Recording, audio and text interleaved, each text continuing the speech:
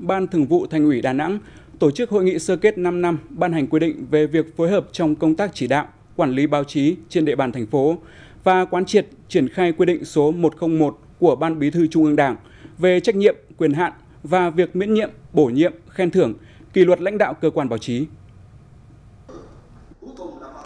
Đánh giá về công tác phối hợp, chỉ đạo quản lý báo chí giai đoạn 2018-2023, 8 nhiệm vụ trong quy định do Ban Thường vụ Thành ủy Đà Nẵng ban hành đều đạt được những kết quả đáng ghi nhận. Đặc biệt, trong bối cảnh Đà Nẵng là tâm dịch, các cơ quan báo chí đã có hơn 15.000 tin bài về công tác phòng chống dịch trên địa bàn. Qua đó, kịp thời thông tin, góp phần tạo sự đồng thuận, tin tưởng của cán bộ, đảng viên và các tầng lớp nhân dân trong phòng chống dịch COVID-19.